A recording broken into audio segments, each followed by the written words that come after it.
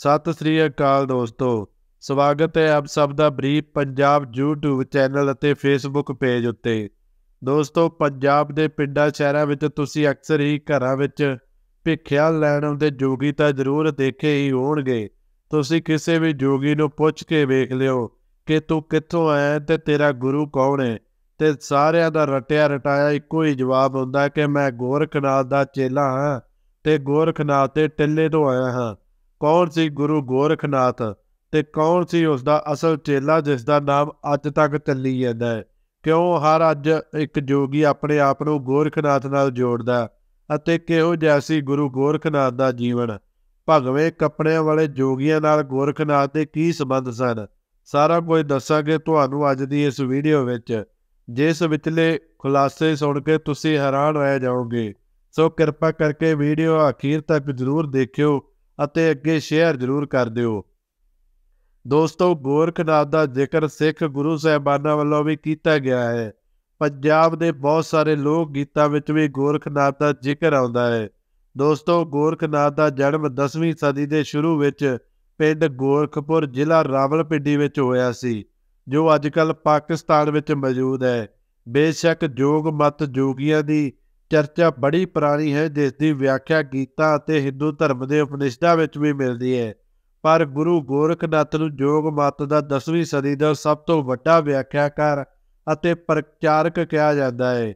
ਗੋਰਖਨਾਥ ਨੇ ਜੋਗ ਮਤ ਦੇ ਬੂਹੇ ਸਭ ਜਾਤੀਆਂ ਲਈ ਖੋਲ ਦਿੱਤੇ ਸਨ ਅਤੇ ਹਿੰਦੂਆਂ ਤੋਂ ਇਲਾਵਾ ਮੁਸਲਮਾਨਾਂ ਨੂੰ ਵੀ ਇਸ ਮਤ, ਇਸ ਪੱਤ ਵਿੱਚ ਸ਼ਾਮਲ ਕੀਤਾ ਸੀ।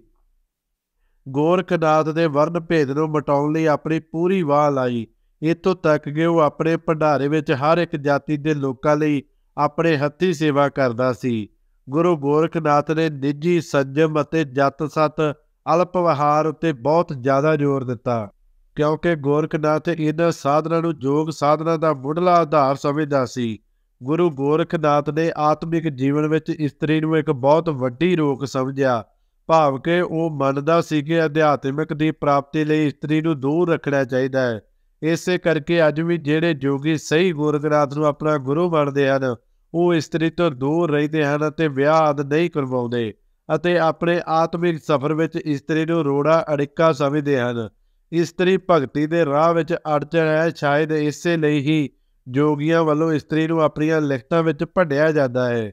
ਗੋਰਖਨਾਥ ਨੇ ਆਪਣੇ ਵਿਚਾਰਾਂ ਦਾ ਪ੍ਰਗਟਾਵਾ ਕਰਨ ਲਈ ਇੱਕ ਨਵੇਂ ਪ੍ਰਕਾਰ ਦੀ ਸ਼ਬਦਾਵਲੀ ਭਾਵ ਬੱਬਾਵਲੀ ਨਾਮ ਦੀ ਸ਼ਬਦਾਵਲੀ ਦੀ ਵਰਤੋਂ ਕੀਤੀ, ਜਿਵੇਂ ਕਿ ਅਲਖ ਨਰੰਜਨ ਅਗੰਭਪੁਰਾ ਅਮੂਰਤ ਨਿਰੰਕਾਰ, ਨਾਦ, ਥਿਤ, ਜੋਤ ਅਜਿਹੇ ਲਫ਼ਜ਼ ਗੋਰਖਨਾਥ ਦੀ ਹੀ ਦੇਣ ਹਨ। ਇਹਨਾਂ ਸ਼ਬਦਾਂ ਨੂੰ ਗੋਰਖਨਾਥ ਤੋਂ ਬਾਅਦ ਹੋਰ ਵੀ ਬਹੁਤ ਸਾਰੇ ਧਾਰਮਿਕ ਸਾਧੂਆਂ ਸੰਤਾਂ ਵੱਲੋਂ ਵਰਤਿਆ ਗਿਆ ਹੈ। ਗੋਰਖਨਾਥ ਤੋਂ ਬਾਅਦ ਚਰਪਣਨਾਥ ਜੋਗਮਤ ਦਾ ਇੱਕ ਵੱਡਾ ਧਾਰਮਿਕ ਗੁਰੂ ਸੀ, ਜਿਸ ਦਾ ਸਬੰਧ ਪੰਜਾਬ ਨਾਲ ਸੀ। ਚਰਪਟਨਾਥ 890 ਈਸਵੀ ਤੋਂ ਲੈ ਕੇ 990 ਈਸਵੀ ਤੱਕ ਰਿਹਾ। ਕੋਈ ਉਸ ਨੂੰ ਗੋਰਖਨਾਥ ਦਾ ਚੇਲਾ ਦੱਸਦਾ ਹੈ ਤੇ ਕਈ ਚਰਪਟਨਾਥ ਨੂੰ ਗੋਰਖਨਾਥ ਦਾ ਭਰਾ ਦੱਸਦੇ ਹਨ। ਚਰਪਟਨਾਥ ਚੱਬੇ ਰਿਆਸਤ ਦਾ ਗੁਰੂ ਬਣਿਆ। ਇਸ ਰਿਆਸਤ ਦੇ ਸਿੱਕਿਆਂ ਉੱਤੇ ਜੋਗੀਆਂ ਦੇ ਕੰਨਾਂ ਵਿੱਚ ਪਾਈਆਂ ਜਾਂਦੀਆਂ ਵਾਲੀਆਂ ਦੇ ਨਿਸ਼ਾਨ ਹੁੰਦੇ ਸਨ। ਗੋਰਖਨਾਥ ਤੋਂ ਬਾਅਦ ਜੋਗੀਆਂ ਦੇ ਆਚਰਣ ਵਿੱਚ ਬਹੁਤ ਜ਼ਿਆਦਾ ਗਿਰਾਵਟ ਆ ਗਈ ਸੀ। ਉਹ ਜੋਗ ਮਤ ਦੀ ਬੱਜਰ ਕਰਤਾ ਕਰਨ ਵਿੱਚ ਗਲਤਾਨ ਹੋ ਗਏ ਸਨ, ਜਿਨ੍ਹਾਂ ਨੂੰ ਚਰਪਟਨਾਥ ਨੇ ਬੜੀ ਸਖਤੀ ਦੇ ਨਾਲ ਦਿੰਦਿਆ ਅਤੇ ਸਾਫ਼ ਕਿਹਾ ਕਿ ਜਿਹੜਾ ਜੋਗੀ ਸਹੀ ਜੋਗ ਮਤ ਦੀ ਸਾਧਨਾ ਨਹੀਂ ਕਰਦਾ ਅਤੇ ਜਿਹੜਾ ਭੇਖੀ ਹੈ, ਉਹ ਇੱਕ ਕੁੱਤੇ ਦੀ ਜੋੜ ਦੇ ਸਮਾਨ ਹੈ। ਚਰਪਟਨਾਥ ਮੰਗਣ ਵਾਲੇ ਜੋਗੀਆਂ ਦੀ ਤੁਲਨਾ ਵੀ ਕੁੱਤਿਆਂ ਨਾਲ ਕਰਦਾ ਹੁੰਦਾ ਸੀ। ਸੋ ਦੋਸਤੋ, ਇਹ ਸੀ ਜੋਗ ਮਤ ਦੇ ਗੁਰੂ ਗੋਰਖਨਾਥ ਅਤੇ ਉਹਦੇ ਚੇਲੇ ਚਰਪਟਨਾਥ ਦੀ ਜ਼ਿੰਦਗੀ ਦੇ ਕੁਝ ਤੱਥ।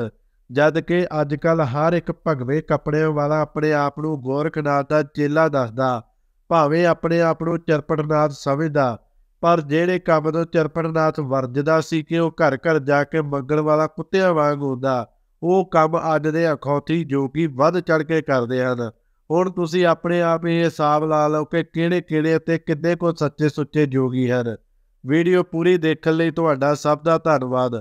ਇਸ ਵੀਡੀਓ ਸੰਬੰਧੀ ਆਪਣੇ ਵਿਚਾਰ ਕਮੈਂਟਾਂ ਵਿੱਚ ਜ਼ਰੂਰ ਸਾਂਝੇ ਕਰਿਓ।